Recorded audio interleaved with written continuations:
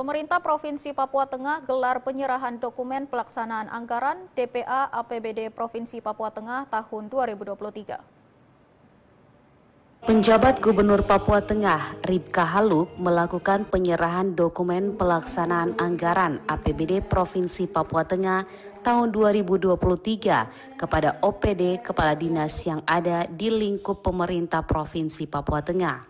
Penjabat Gubernur Provinsi Papua Tengah Ripka Haluk mengatakan, kegiatan penyerahan DPA ini merupakan tindak lanjut Peraturan Gubernur Papua Tengah Nomor 10 Tahun 2023 tentang anggaran pendapatan dan belanja daerah Provinsi Papua Tengah tahun anggaran 2023. Penyusunan APBD tahun anggaran 2023 dengan total anggaran belanja sebesar 2 triliun 346 miliar 858 juta 685 ribu 766 rupiah disusun dalam waktu kurang lebih dua bulan dan sepenuhnya menggunakan sistem informasi pemerintah daerah atau SIPD, mulai dari proses perencanaan, anggaran, dan akan berlanjut ke tahapan penata usahaan dan sampai pada proses pelaporan nantinya. Akan semua DPA di akhir triwulan satu, triwulan pertama. Eh, saya harap ini bukan karena sengaja.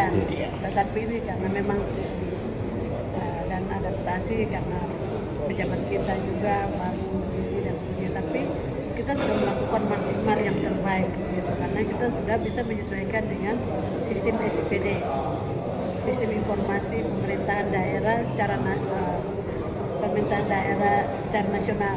Jadi kami Provinsi Papua Tengah sudah eh, basis eh, DPA kita sudah basis SIPD. Sudah running dan kami juga terus genjot untuk akan melakukan SIPD RI.